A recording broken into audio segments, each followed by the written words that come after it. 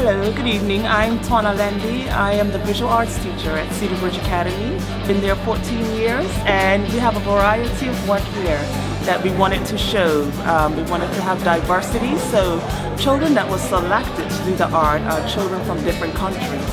Um, so most of them were from either Dominican Republic, Portugal, uh, we have Tokyo here as well, we have African. We just wanted to put an array of art out to display all of the many cultures that we have at Cedarbridge Academy.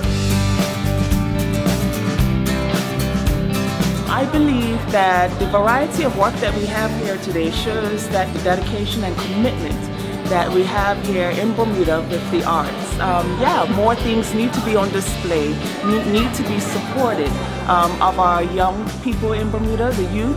They are very artistic, gifted children, and they need to be exposed more to this world or even to Bermuda. They just need the support, and with that, that will bring success to our children, our future children.